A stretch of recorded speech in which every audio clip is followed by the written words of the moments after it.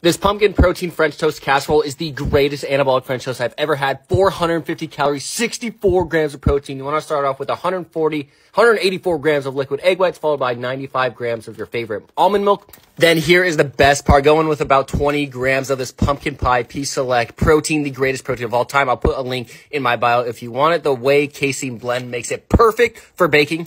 I've been using this shit for years, even before they sponsored me, and the pumpkin flavor is amazing. I'm making all my recipes with it. Then you want to add in about 60 grams of canned pumpkin, followed by 10 grams of your favorite zero sugar sweetener, or zero calorie sweetener, sorry.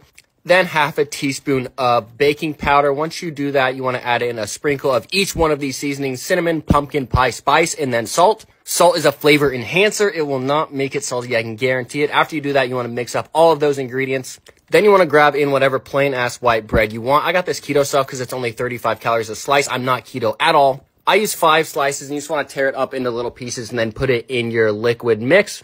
After you do that, mix it all up until it's homogenous. Then go ahead and put it in a microwave safe dish or oven safe dish. Then throw it in the oven for 350 degrees Fahrenheit. I cooked mine for 40 to 50 minutes. It took quite a while then to make the icing on top. I grabbed a non-fat plain Greek yogurt, threw in 75 grams of that, and then about 35 grams of sugar-free syrup. After that, I just did about 10 grams of zero calorie sweetener again, and then just mix it all up, and boom, that's your icing. You can use this for anything, pancakes, waffles, French toast, whatever you want. Super easy, super simple. Then pull it out and put your icing on top of the casserole, and that is it. 450 calories, 64 grams of protein.